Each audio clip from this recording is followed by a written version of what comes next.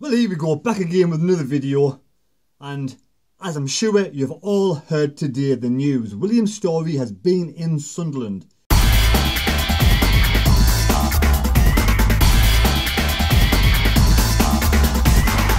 He's been at the Stadium of Light, he's been in business talks, he's been in meetings, and he's also been interviewed by Nick Barnes on BBC Newcastle. Now, whatever your opinion is of William's Storey, that's your opinion.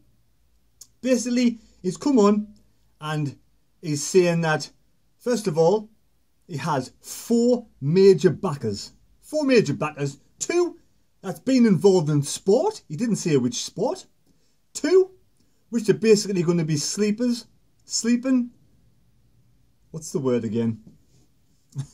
They're going to be silent partners. That's it. Silent partners. It's been a long day. I've been up since half past four this morning. But yes, two silent partners and two people who are well involved in sports and have a lot of money. And he says 85% of the money will be coming from the four people in that consortium, the four backers. William Storey has got some money in himself, and he has, for me, he's going to be the main person, the main figurehead.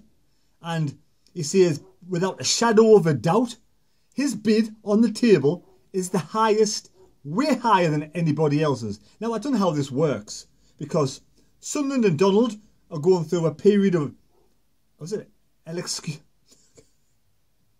exclusivity? I can't even say it.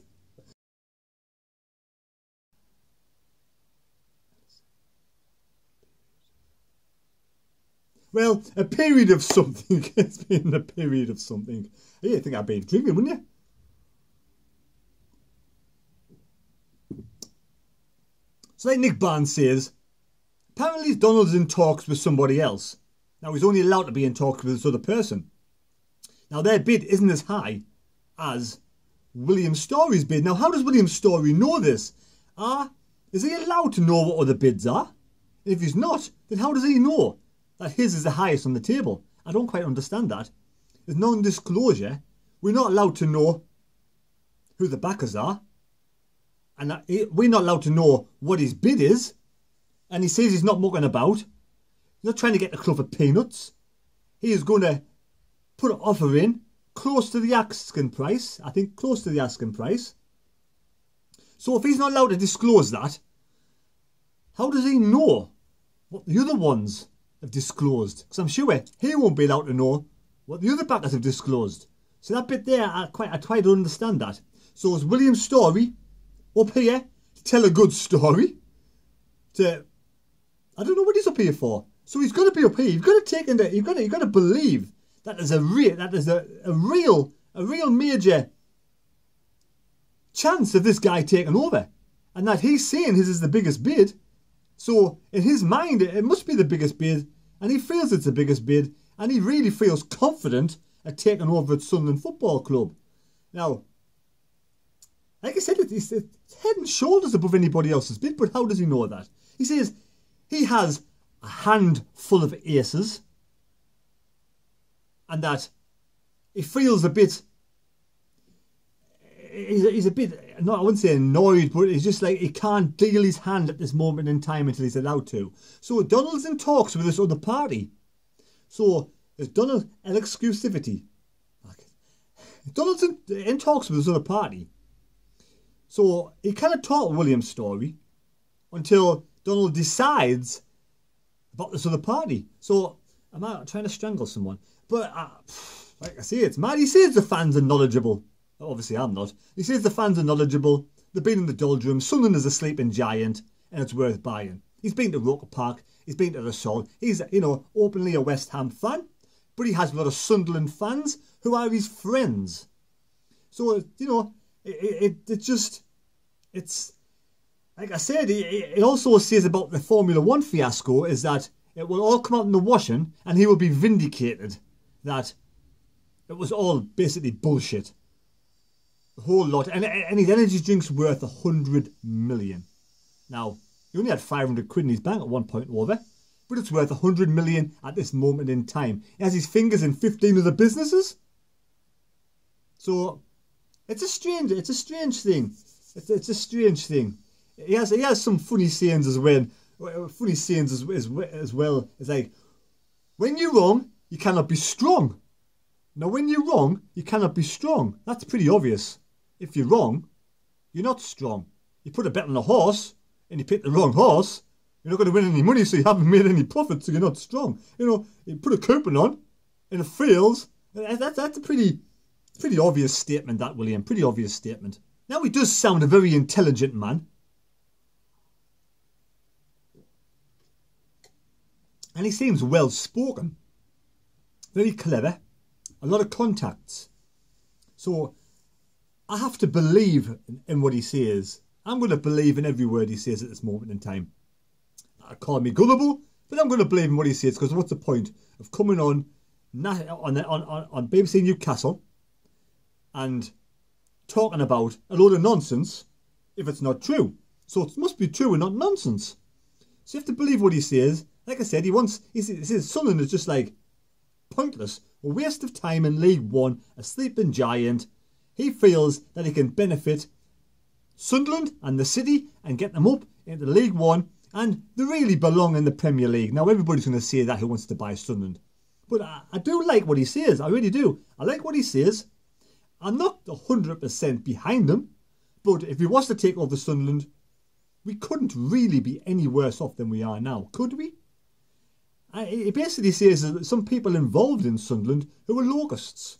I wonder who them locusts could be. Oh, yes. And Juan Sartori, 20% shareholder, hasn't done anything, which he hasn't, in the time he's been at Sunderland. So why now is he wanting to buy Sunderland? And why is Stewart Donald talking to this other person when William Storey's been trying to do this for five months, building up this team of people for five months, these backers for five months, has the money now in place so why is Donald talking to this other person if, if William Storey's is the biggest bid? Is it because the other person could possibly, let's say, let's put a scenario out there, Juan Santori, Juan Sartori, should we say. And Juan Sartori wants to take over at Sunderland and wants to replace Donald. But Donald also is thinking to himself, right, but I don't want to lose all of my shares. Let me keep, let's do, let's flip the roles over. Juan Sartori Juan Santori, Juan Sartori, he can have 76% of the shares. And me as Donald, 74% of the shares, sorry. And me and Donald, I'll have the 20%. I'll keep my fingers in the pie at Sunderland. I'll take a back seat. I won't even be seen or mentioned again, but I'll own 20% of Sunderland, while Juan Sartori has the 76%, 74% of his backers does and runs the club. Now, I don't think Stewart Donald's the type of person to walk away from anything unless, unless he's forced out, his hands are all dealt, and and there's no way he can stay at Sunderland. That's the only way for me that Donald will walk away if there's no other options. If one if Juan Sartori is here with an option, Donald will probably stay on, and like Charlie Methven's done disappeared and not to be seen again, while Sartori takes over at the helm and deflects everything away from Donald with new backers in. I hope that's wrong. And I'd probably like to see Donald go altogether. And there's a lot of scepticism about William's Storey, and I can understand that. I'm skeptical, skeptical myself. But at the end of the day, like I said, if he has massive backers and he is a massive football fan, then for me, is probably more the viable option after I've heard him talk today. And he seems a quite open bloke. I'm not, I don't agree with all the Twitter stuff. I don't agree with owners being on social media. But if that's the way he wants to go, that is entirely up to him. It's his life. So long as he brings Sunderland out of League One and puts them in a fantastic position, either in the Championship or the Premier League, and like I wanted Donald to do, succeed. So there we go. William Storey's been up at Sunderland. He's also been talking to Sean Middleton. Yes, the face of SAFC Fan TV. But unfortunately, Sean couldn't find a cameraman to go and interview him, which is a goddamn shame. because Sean's a top bloke and would have done an absolutely world class job, just like Nick Barnes done tonight. Well, there you go. What do you want? Do you want William Storey in? Or do you want Juan Sartori in? Or do you want somebody else in? FPP? Probably would have been the best choice, but we don't know who's backing William Storey. Right, please subscribe to the channel and all that nonsense, and we'll see you later when hopefully, very soon, in September, we'll find out who Sunderland's new owners are. Is it going to be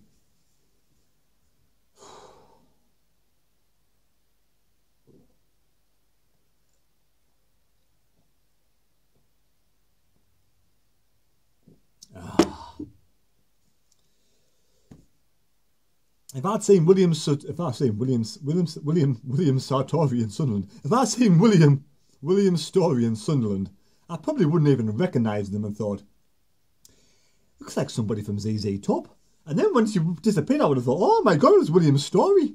You know what I mean? I'm just like, yeah, end of the day. But eh, when you have a beard that size, and you and you have like a, a messy dinner, like really like let's say like a, you know when you get a nice Chinese and you have like spare ribs and you eat spare ribs, it must be really uncomfortable getting spare rib juice all over your face. That's all I can think about. Food. But food and ZZ. When I, when I say William Storey, I can just think about food and and ZZ Top. And he's obviously not from ZZ Top, but I wonder if what was the inspiration behind the beard? That's what I want to ask him. What is the inspiration behind your beard? Is it actually ZZ Top? Or something completely different? Yeah, so he also reminds me of one of those people off um, Game of Thrones. A big, how was it? Um, him from up the wall. What's what's I forget what's called now. But yeah, he had a massive beard as well. Oh, the wild, the Wildlands. That's it. It reminds me of a Wildland. Or what? A Wildland. A Wilden. A or a Wilden. Uh, one of those, one of those wildlands. Yes, it reminds me of one of those as well. Again, I wish William Storey all the best. I just asked him some silly questions because I had a good bit of laugh, and I'm sure he enjoys a joke too. Right, we'll see you later. Enjoy the rest of your night.